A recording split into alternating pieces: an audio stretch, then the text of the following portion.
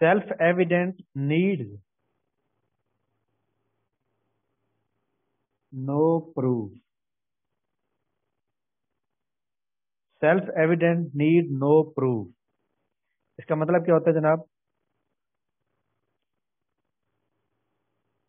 हाथ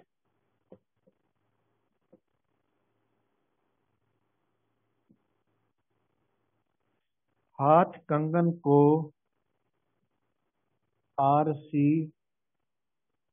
किया। ठीक है जनाब? एक्चुअली इसका मतलब ये होता है कि जनाब जो वाज सबूत होते हैं ना वाज सबूत जब मतलब खुद बंदा एक खुद आ, मतलब एक सबूत होता है। खुद बंदा मतलब एक गवाह होता है तो उसके लिए कोई मतलब है किसी प्रूफ की ज़रूरत नहीं होती। अच्छा जी।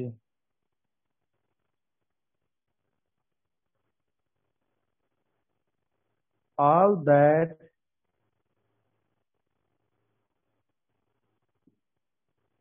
glitter is not gold all that glitters is not gold हर चमकती हुई हर चमकती हुई चीज़ सोना नहीं होती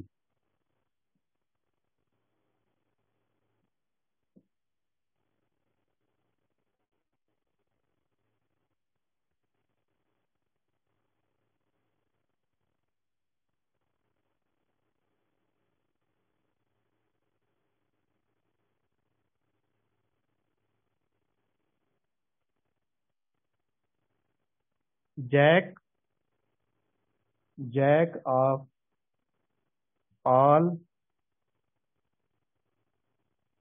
trade jack of all trade का मतलब होता है हर फन मौला।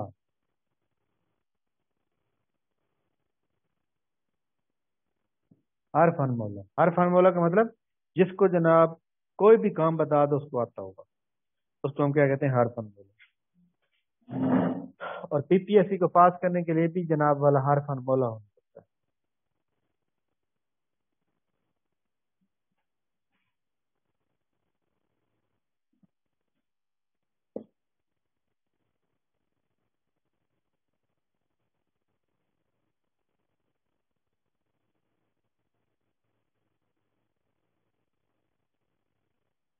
New new lords new laws new laws new laws हर के आमद, इमारत इमारत नो साफ़ इसका मतलब यह होता है कि जनाब, हर नया आने वाला जो मतलब है गवर्नर होता है या कोई भी लॉर्ड होता है या कोई भी हुक्मरान होता है तो अपना कानून नया लेकर आता है। मतलब उसके अपने तरीके कार होते हैं। उसने अपने तरीकों से जनाब वाला वो चलाना होता है।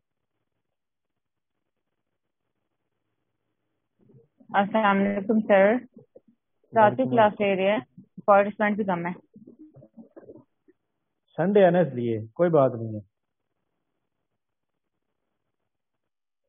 Nothing ventures nothing have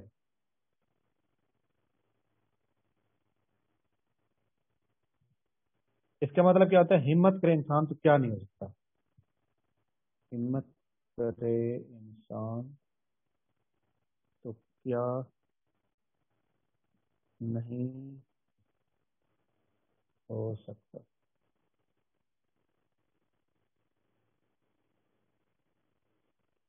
god help दो हेल्प सेल्फ हिम्मत मर्दा, मदद खुदा, या खुदा उनकी हेल्प करता है, मदद करता है, जो अपनी मदद करते हैं Thank. Hmm,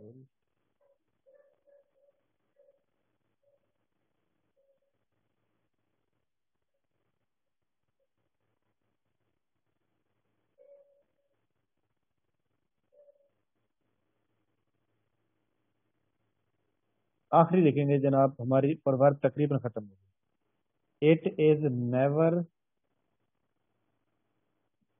too late to mend तौबा का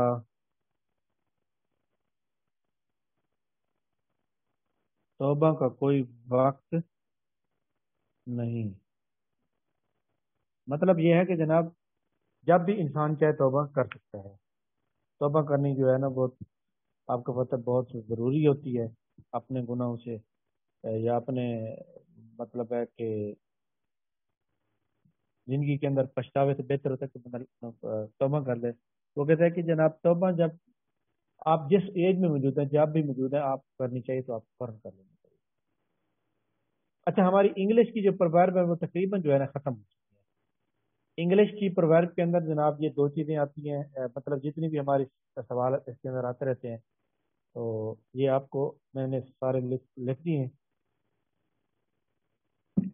सर थोड़े से कितने हैं अभी? नहीं नहीं परिवार खत्म हो गए अब हमने वन वर्ड सब्सटीट्यूशन के ऊपर ज़ोर दें ठीक है? ठीक हो गया? अच्छा जनाब सर अगर आप जी जी। सर अगर आप ग्रामर में करवा दें जैसे आपने उस दिन आर्टिकल करवाए थे डायरेक्ट इनडायरेक्ट करवा दें एक्टिव पैसिव करवा दें इस तरह से। चलें ठीक हो गया। आपकी सजेशन जो है वो मेरे जहन में आ गई है। इंशाल्लाह ताला हम एक डायरेक्ट डायरेक्ट पैसे करवा दी। नहीं वो तो मैंने करा दिया था ना। जैसे ना ग्रामर के अंदर मैं आपको एक बात बता दूँ जिस बंदे के नहीं हुए ना वो मुझे बताएगा। कि सबसे पहले हमने जनाब एक्टिवाइज पैसिवाइज करे कंप्लीटली उसके बाद डायरेक्ट डायरेक्ट किए। उसके बाद हमने तमाम ईडीएम एक बार कंप्लीट किए। ईडीएम आपको पता है ना कि 2021 से सीएसएस के लेकर दो हज़ार उन्नीस छियानवे तक किए।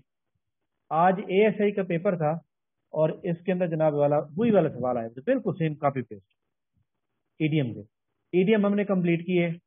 हमने वोकेबलरी इंग्लिश की कंप्लीट की मैं अभी थोड़ी देर ईडीएम कौन सा आया था? ईडीएम वो आया हुआ था फेस द म्यूज़िक आर्म एक था फेस द म्यूज़िक था दूसरा भी था। दो तीन थे पर वो ही थे उसी में थे सारे थे। सर ये मुश्किल में फंसना होता है ना face the music face the music का मतलब होता है मुश्किल मुश्किल का सामना करना। सर आपने भी दिया पेपर आज? नहीं नहीं मैंने तो नहीं दिया वो था सर्विस कोटे वालों का। सर्विस कोटे का मतलब ये होता है कि जो गवर्नमेंट मुलाजिम होते हैं ना पुलिस के उनका होता है। ठीक है? सर वो ईडीएम e वाली पीडीएफ फ़ाइल कही थी आपने? हाँ यार वो मैंने एक्चुअली ना उसके पंद्रह बीस पेजेस में बनाने पड़ेंगे। लेकिन यह है कि उसको ना एक बार हम टेस्ट में शामिल करते हैं। वैसे फ़ाइल में आपसे शेयर कर दूँगा उसमें फिर जो है हम टेस्ट के अंदर शेयर करेंगे। अच्छा जनाब सबसे पहले हम कंप्यूटर के ऊपर आए या बंदे कितने हैं टोटल ट्वेंटी हो गए बस काफ़ी है कह रहे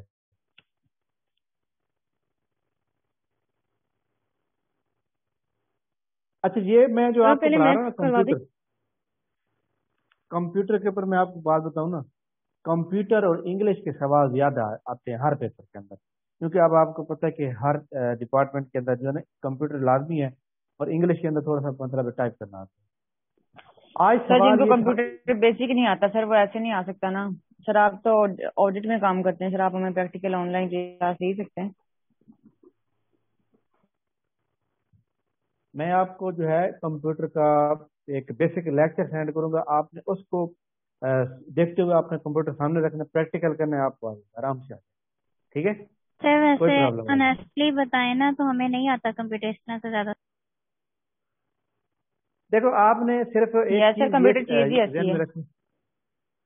नहीं कंप्यूटर को जब तक प्रैक्टिकल ना करो तब तक नहीं आएगा। ये कंफर्म बात ठीक है कंप्यूटर अगर मुझे भी आता है तो मुझे प्रैक्टिकल करने जाता है। वैसे मैंने भी रट्टे लगाए थे भूल जाते थे। लेकिन प्रैक्टिकल करने के बाद फिर मुझे कभी नहीं मिलता सर हम भी रट्टा लगा के टेस्ट दे देते हैं लेकिन बाद में भूल जाते हैं कुछ नहीं याद होता। आपको मैं ये बता रहा हूँ कि आपने एक बात तो ये याद रखनी है कि आपके पास ये पता होना चाहिए कि हमारे पास जो कंप्यूटर है फॉर एग्ज़ाम्पल हमने पेज लेआउट ओपन है तो पेज लेआउट पे कौन कौन से ऑप्शन आते हैं? ठीक है? इसी तरह हमारे पास पेज लेआउट के अंदर ऑप्शन के अलावा जनाब, इसके अंदर आज एक सवाल था, कौन सा था सवाल? हाँ उसने कहा जी रेडीमेड टेम्पलेट जो है वो कौन से ऑप्शन में मौजूद होती है? रेडीमेड टेम्पलेट कौन से ऑप्शन में मौजूद होती है? एम एस एक्सल की बात करते तो याद रखिएगा, वो होती है पहले पहले जो ऑप्शन होता है ना फ़ाइल उसमें होती है। चाहे वो एक्सेल हो, चाहे वो पावर वाली म्यूट रखते हैं। समझ आगे बात की? कम अज कम आप ये चीज़ें तो याद रख सकते हैं ना। अब देखें, आप कंप्यूटर जिनको कंप्यूटर नहीं आता ना, वो आप मुझे ना क्लास के बाद मैसेज करेंगे वॉइस मैसेज करेंगे, मैं आपको समझाऊँगा कि आपने कहाँ से स्टार्ट करना ठीक है? और मैं उसके मुताबिक आपको वीडियो सेंड करूँगा। आपने उसके मुताबिक पहले पहले ऑप्शन के ऊपर क्लिक करना है, उसको मतलब आप ट्राई करेंगे तो आपको आ जाएगा। अच्छा पहले चलो जी वर्ल्ड मैप कर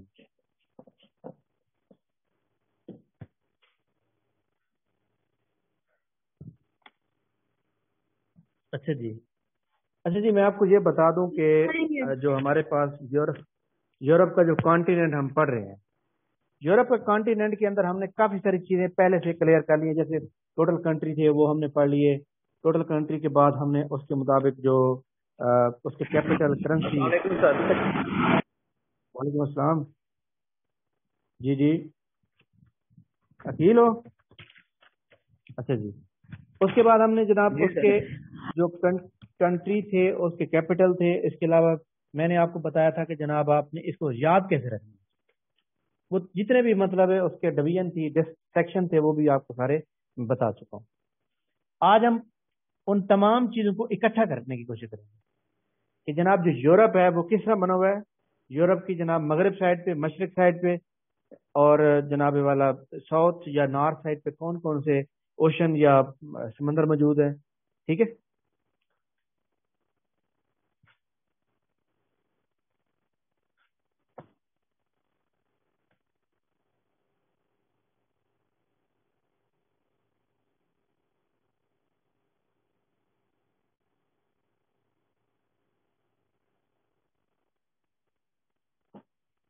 अच्छा जी। सबसे पहले जनाब आपने बनाना है क्या भला बनाना है? यहाँ पर बनाना है। सर अभी इसकी डिस्ट्रेक्शन कंप्लीट कहाँ हुई? नहीं नहीं वो जितने भी आपके रहते हैं ना उसको छोड़ दें। ये भला क्या बनी है?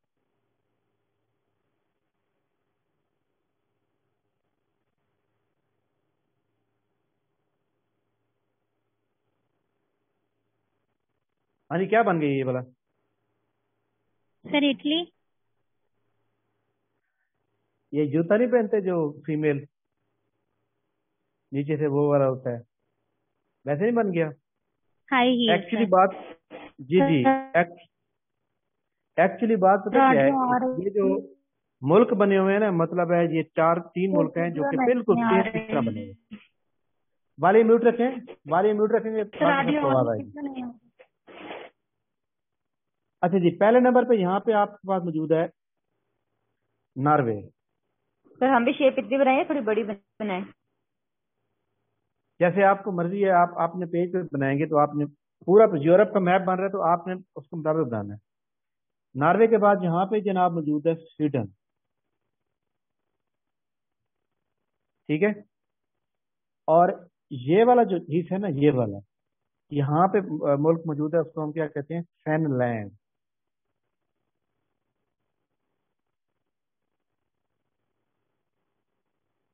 फिनलैंड ठीक? इस जगह पे जनाब मुल्क मौजूद है, उसको हम कहते हैं आइस आइसलैंड। आइस लैंड अच्छा जी। इसके बाद आपने जनाब यहाँ पर एक गोल दायरा बनाना है।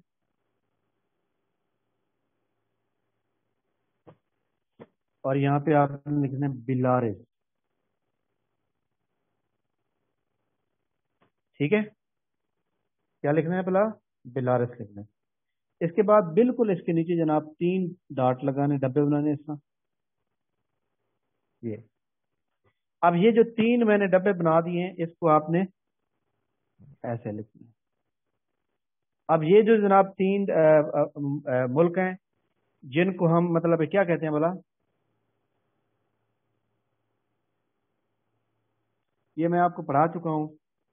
बल्कि मैं पहले नाम लिखूँगा, उसके बाद फिर आपने इनको लिखना। पहले मुल्क का नाम है जनाब Estonia.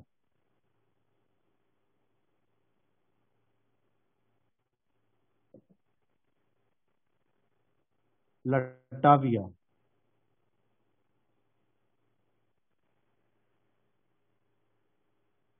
Lithuania. L I T H U N I इन तीनों को हम भला क्या कहते थे? क्या नाम दिया था भला? याद है? बाल्टिक स्टेट दिया था ना?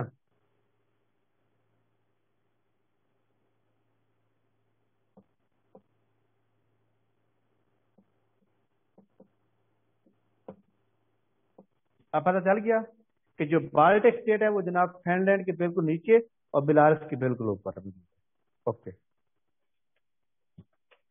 इसके बाद जनाब आगे चलें। यहाँ पर जनाब,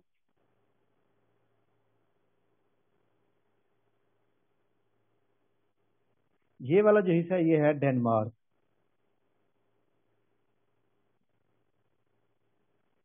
ठीक है? डेनमार्क के बाद आप यहाँ पे बनाएँगे एक मुल्क।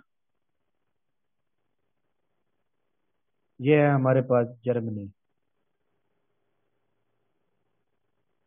ठीक जर्मनी को जनाब आप मिला देंगे इस दो मुल्कों के साथ। ये हमारे पास कौन सा बन जाएगा? पोलैंड। अच्छा जी, अब ये वाला यही था, बात की ये यहाँ पर क्या चीज़ है? यहाँ पर है जनाब एक समंदर जिसको हम कहते हैं बाल्टिक सी। बाल्टिक बस जल गया। इसके बाद नेक्स्ट जनाब, हमारे पास यहाँ पर आपने पोलैंड के बिल्कुल नीचे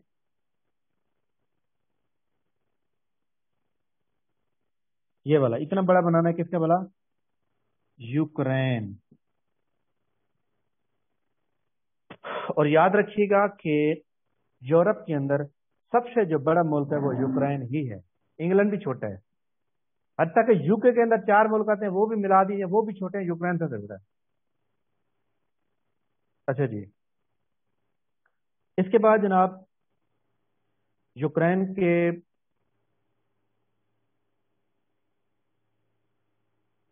यूक्रेन के बाद, ठीक हो गया। यहाँ पर इस साइड पर हम आ जाते हैं।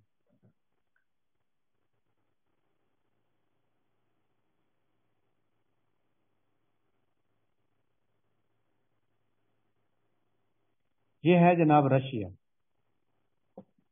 कौन सा? रशिया। रशिया जो है, यूरोप के अंदर जनाब 25 परसेंट ट्वेंटी फाइव परसेंट किसके अंदर मौजूद है? यूरोप के अंदर। ये वाली जो जनाब लाइन है ना, ये वाली ये वाली, इसको हम कहते हैं, क्या बोला? यूरल माउंटाइन यूरल माउंटाइन जनाब यहाँ पे बिल्कुल बॉर्डर पे मौजूद है। इस जगह पे इस साइड पे फिर एशिया आ जाता है। ठीक है? तो यूरल माउंटाइन एक्चुअली रशिया के अंदर है और यूरल माउंटाइन जो है जनाब यूरोप को एशिया के साथ जुदा करती है। और रशिया को आ, मतलब है कि रशिया यूरोप में भी आ जाता है रशिया जनाब एशिया में भी आ जाता है। इसलिए यूरल माउंटाइन जो है वो यूरोप और एशिया को मिलाती है। सर इसकी लाइन ही आ रही है? ही तक तो नहीं आ रहा एशिया में। क्या कह रही है? सर आपने वो लाइन नहीं बनाई है ना Ural line? Ural line sorry तो सर वही आ रही है ना मतलब उधर उसके आगे से मेरा मतलब यह है कि इस साइड पे हम इस साइड पे जाएँगे तो सारा एशिया है ना। तो ये जो पूरी यहाँ पर है सर यहाँ पर हम जो एशिया में था वो भी यहाँ पे ड्रॉ कर दें। तो ट्वेंटी फाइव परसेंट जो है वो आता है इसके अंदर किसके अंदर? यूरोप के अंदर बाकी इस साइड पे चला जाता है। और सेवेंटी फाइव परसेंट इस साइड पे है। लेकिन एक प्रॉब्लम है कि मास्को जो है वो यहाँ पर है। कहाँ पर है? मास्को इसके इसलिए हम इसको यूरोपियन कंट्री कहते हैं। मास्को कैपिटल जहाँ पर होता है हम उसको काउंट करते हैं ना। तो कैपिटल आपका कहाँ पर आ रहा है? कैपिटल जो है वो यहाँ पर आ रहा है जनाब वाला यूरोप के अंदर तो इसलिए ये यूरोपियन कंट्री हालाँकि वो सेवेंटी फाइव परसेंट जी जी। ये ट्वेंटी फाइव परसेंट क्या लिखा है आपने? ट्वेंटी फाइव परसेंट रशिया जो है ना दो दो कॉन्टिनेंट में आता है। ट्वेंटी फाइव परसेंट रशिया आता है यूरोप में सेवेंटी फाइव परसेंट आता है एशिया में। और सर ये जो आपने साइड पे एक छोटी सी लाइन ड्रॉ की है वो किस चीज़ की है? ये है Ural mountain Ural mountain range जो है ये एशिया इस साइड पे एशिया आ जाता है। एशिया को यूरोप के साथ मिलाती है। और यूरल माउंटेन जो है यहाँ पर रशिया के मुल्क के अंदर मौजूद है। अच्छा जी इसके बाद ये वाली जो जगह ना, ये वाली, यहाँ पर। ये एक मुल्क मौजूद है, जिसको हम क्या कहते हैं बड़ा? कजाकिस्तान।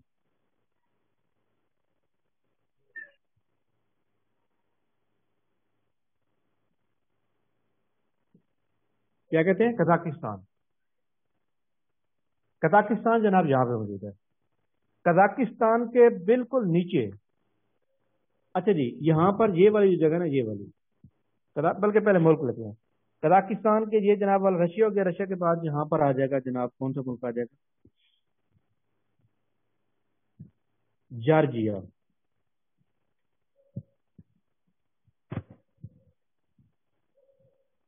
जॉर्जिया के बिल्कुल साथ यहाँ पे आप लिखेंगे, Armenia. A R M E N I A Armenia. Armenia यहाँ पर आ जाएगा। आर्मीनिया के बिल्कुल इस साइड पे, ये वाली जगह।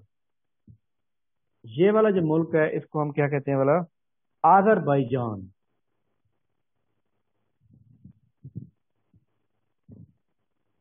आजर बाईजान आजरबाईजान जनाब यहाँ पे मौजूद है। अच्छा जी, ये वाली जो साइड है ना, ये वाली, ये है हमारे पास कौन सी साइड वाला बनेगी? शुमाल बनेगा। ये बनेगा ना शुमाल। शुमाल को इंग्लिश में हम क्या कहते हैं? नॉर्थ इस साइड पे कौन सा ओशन है? दुनिया का सबसे छोटा ओशन जो है A R C T I C Arctic ocean मगरब साइड नीचे वाली जो साइड है ये वाली हमारी इसको हम क्या कहते हैं? जनूब साइड तो जनूब साइड साउथ साइड इस साइड पे मौजूद है। आ, क्या लिखेंगे पहला? साउथ इस साइड पे मौजूद है मेडिटेरियन सी। मेडिटेरियन सी। हाँ जी मैंने आपको नक्शा पढ़ाया था। ये बताएँ कि यूरोप के नीचे कौन सा कॉन्टिनेंट था? यूरोप के बिल्कुल नीचे। वो जो हमने एक बनाया था उसके अंदर आपको याद होगा कि यूरोप जी? अफ्रीका। अफ्रीका वेरी गुड ये देखें जब साउथ के ऊपर जो है मेडिटेरियन सी है तो अक्सर पेपर में आता है कि Mediterranean sea are lying between.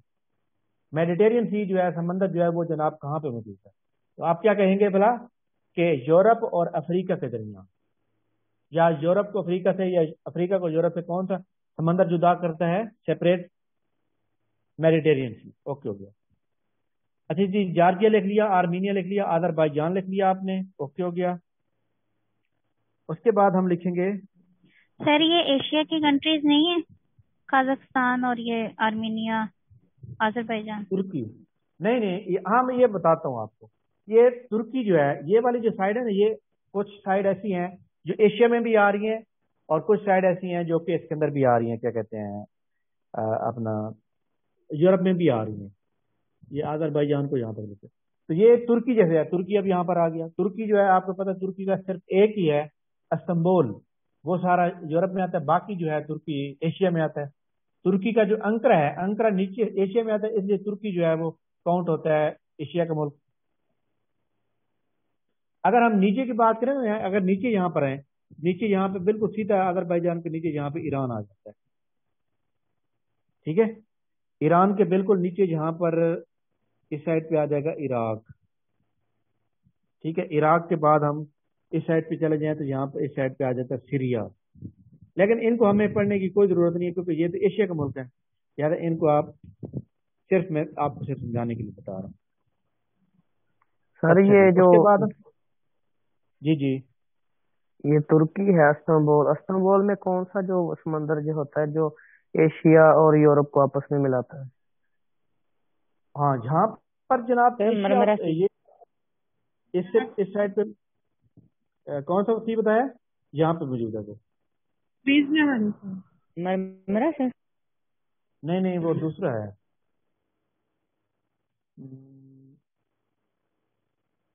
क्या नाम था उसका?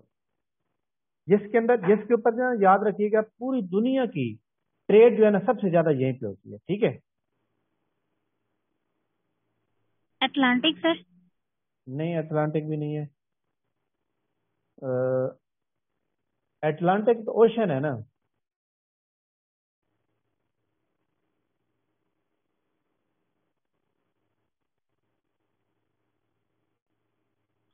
मेडिटेरेनियन है सर जी? मेडिटेरेनियन सी नहीं मैं बताता मेडिटेरियन भी नहीं है।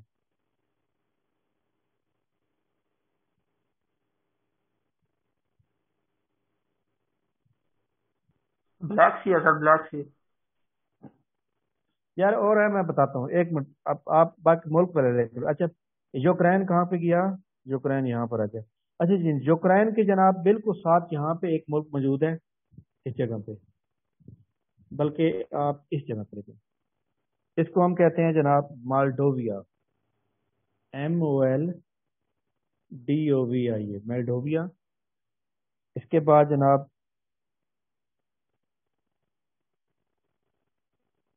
इधर आप लिखेंगे रोमानिया। रोमानिया के बाद जनाब, रोमानिया के बिल्कुल एक साथ मुल्क है, जहाँ पे Slovakia S L O V A K I है सोलोवेकिया। अच्छा जी, यहाँ पर एक मुल्क, बल्गारिया।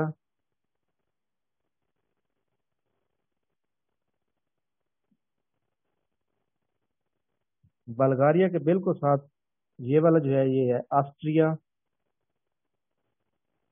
ऑस्ट्रिया का आपको याद होना चाहिए कि ऑस्ट्रिया के बिल्कुल नीचे जो है जनाब। सर ऑस्ट्रेलिया नहीं होता?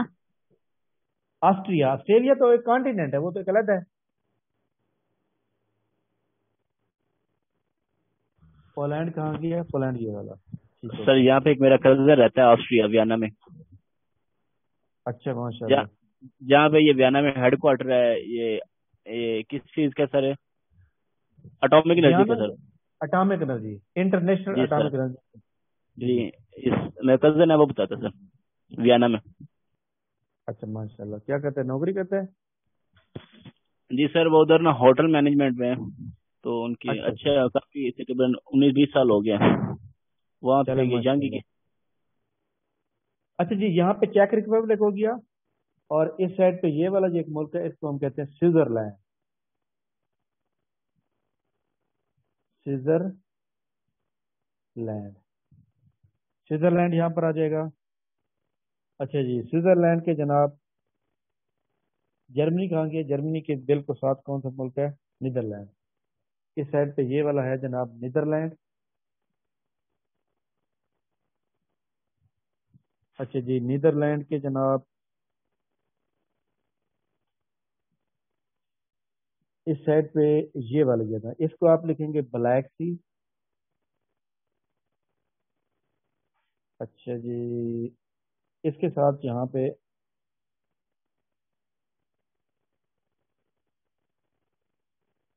अच्छा जी, ये वाला मुल्क है हमारे पास क्या? फ्रांस।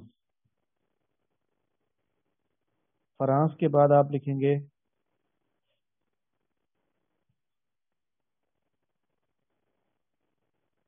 यहाँ पर जनाब, ये वाली साइड जो है, ये इटली।